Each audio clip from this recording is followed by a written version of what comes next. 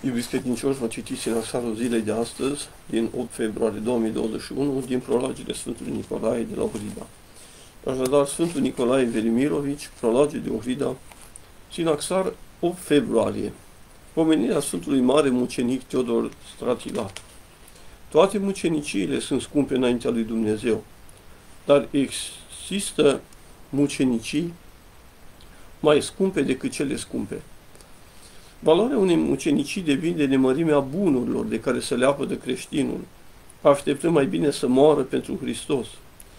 Și mai departe depinde și, și mai mult de mărimea suferinței pe care o îndură creștinul de dragul credinței lui Hristos. Sfântul Teodor, care era mare comandant militar în armata romană în timpul împărăției lui Licinius și guvernator al cetății Heraclea, și-a disprețuit tinerețea marea frumusețe, era un om de o frumusețe fizică deosebită, în altul rang militar de general și onorurile cu care îl înconjura împăratul, toate acestea de dragul lui Hristos. Teodor a fost mai întâi biciuit și lovit cu 600 de lovituri de bici peste stomac. După aceea a fost înălțat pe o cruce și străpuns peste tot cu lăncii. La sfârșit i s-a tăiat capul. De ce?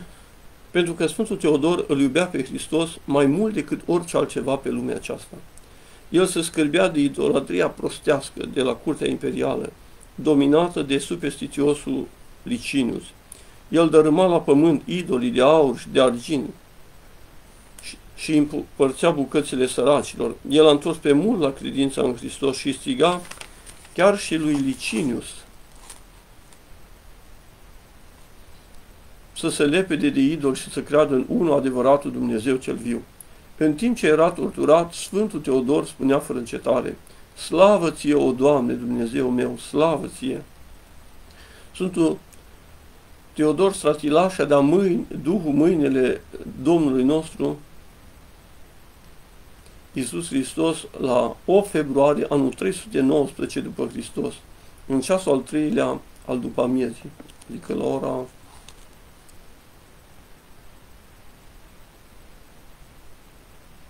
3 după masă.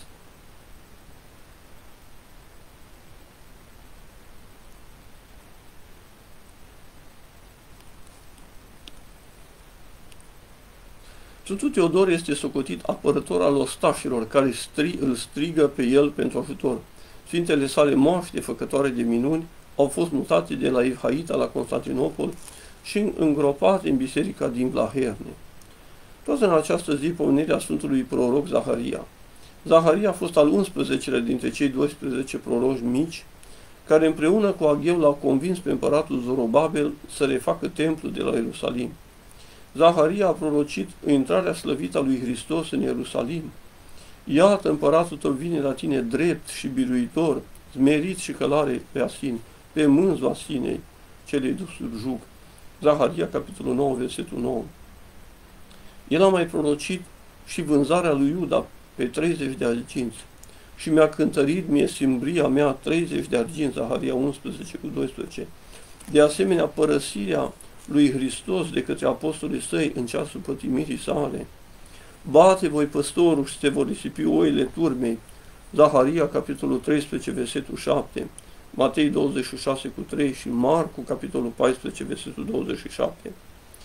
Prorocul Zaharia a mai fost numit și văzătorul secerii, căci a avut o vedenie în care o seceră să cobora din cer ca să-i secere pe cei păcătoși, mai ales pe hoți și pe huritorii numelui lui Dumnezeu.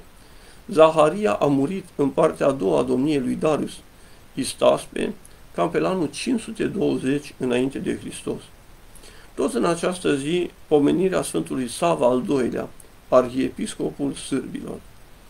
Sava a fost fiul regelui Ștefan, celui întâi rege încoronat al sârbilor, al sârbilor și nepot de frate a Sfântului Sava I, primul arhiepiscop al sârbilor. Înainte de tunderea în monahism, Sava s-a numit Predislav. Urmând de exemplu unchiului său, Predislav s-a tuns în monahism și a slujit cu râvnă în viața nevoințelor ascetice. El a fost ales arhiepiscop al sârbilor urmându-lui Sfântului Arsenie, sub numele de Sava al doilea. Sfânt Arsenie a fost ucenicul Sfântului Sava I și al doilea arhiepiscop al sârbilor. Sfântul Sava al doilea este al treilea arhiepiscop al sârbilor. El a păstorit biserica cu mare dăruire și dragoste. Sava al doilea a trecut la Domnul la anul 1268 după Hristos, iar Sfintele sale moaște odihnesc în mănăstirea din Peci. Cântare de laudă la Sfântul Sava al doilea, arhiepiscopul sârbilor. Tânărul Predislav necontenit suferea, ochii în lacrimi având, regina maică îl întreba, de ce suferi fiul meu? La ce privesc ochii tăi? La fața cea Sfântului Sava, unchiul meu, maică, zicea el, regele Ștefan către fiul să grăi, să te însori trebuiește, fiule, că timpul este al tău, iată eu am îmbătrânit. Pe cine voiești? Numele fetei să mi-l spui. Predislav vorbele tatălui le ascultă, dar de soție nevrând să audă. Predislav ochii minții cu lacrimi spre unchiul său Sfântul Sava și îndreaptă, pe calea lui Hristos, așează-mă pe mine, sfinte și unchiule, regele și regina mor, iar patriarh Arsenie de asemenea trece la cele cerești. Biserica văduvă lăsându-o, de slava lumii fuge al doilea Sava, pentru că slavă îndoită asupra lui să se coboare, cinse episcopiei și cu nuna sfințeniei. Slava lumii să nu fie rege și căsătorit, coronat cu coroană regală și a, a, s-a făcut monah și a ajuns al patriarh și și sfânt. Ce frumos! Cugetare. Așa scrie Sfântul Serafim de Sarov despre deznădejde. Așa cum Domnul Iisus Hristos pururea dorește și se îngrijește de mântuirea noastră, așa și diavolul ucigașul de oamenilor, umblând necontenit, umblă ca să ne arunce în deznădejde. Iuda trădătorul era laș cu inima și nedeprins în viața duhovnicească, cu lupta duhovnicească. De aceea diavolul, văzându-i deznădejdea, l-a atacat și l-a convins să se spânzure. Petru, piatra cea tare, căzând în păcat, dar încercat în lupte, nu a deznădăjduit.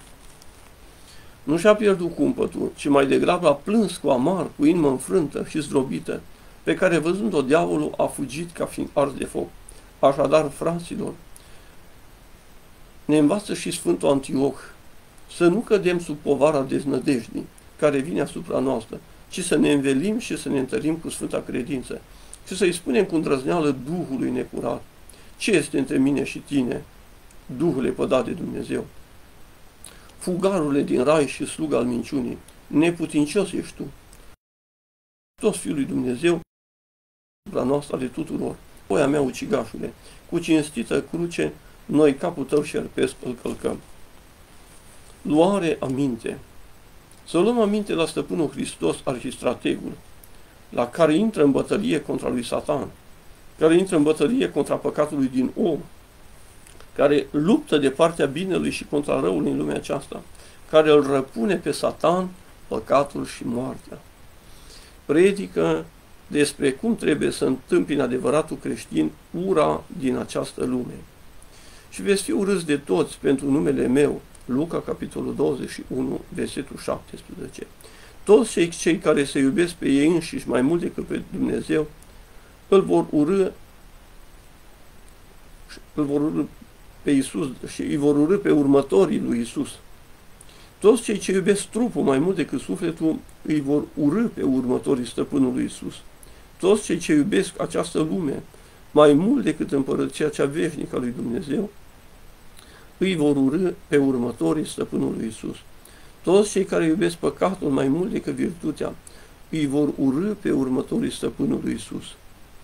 Numărul celor ce urăsc numele lui Isus este uneori mai mare și alteori mai mic.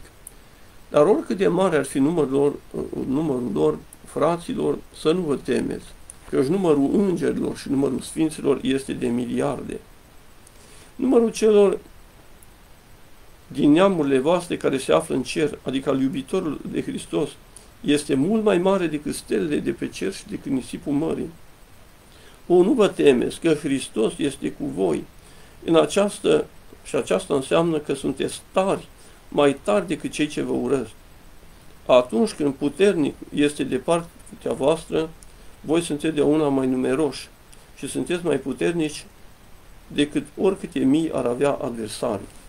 O stăpâne Hristoase, puternice, fi totdeauna cu noi și ne ajută, nouă ca să fim pururea cu tine și toată frica să fugă de la noi.